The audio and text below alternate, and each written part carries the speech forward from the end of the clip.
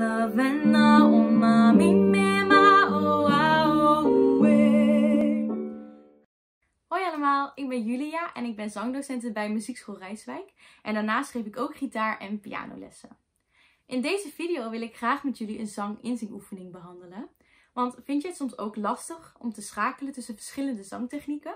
Dan is deze video voor jou en hij gaat als volgt. Hi, hi, hi, hi,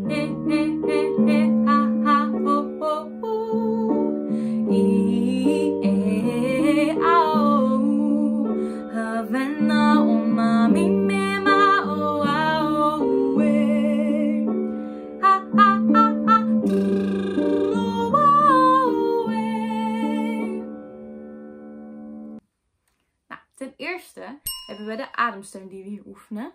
Bij de korte eh, woordjes hi, hi, hi, hi, he, he, he. Als je daar niet voldoende ademsteun gebruikt, dan krijg je ze nooit zo krachtig en kort naar buiten.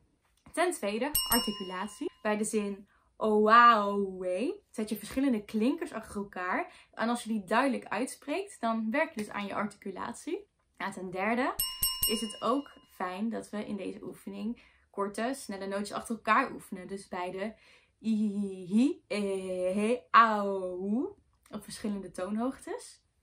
Nou, dat zijn de drie dingen die hier aan bod komen. De volgende stap is om iets sneller te gaan zingen en hem te moduleren. En dat betekent dat je elke keer een stapje hoger gaat.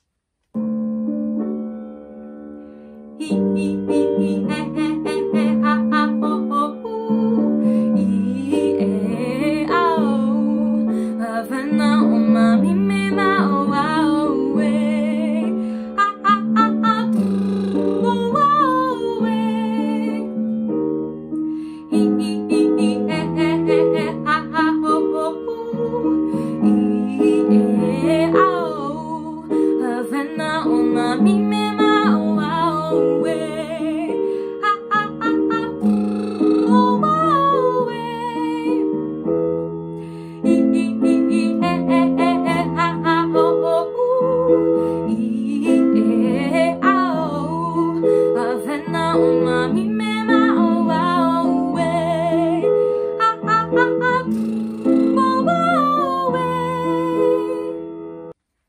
Kun je dit ook oefenen.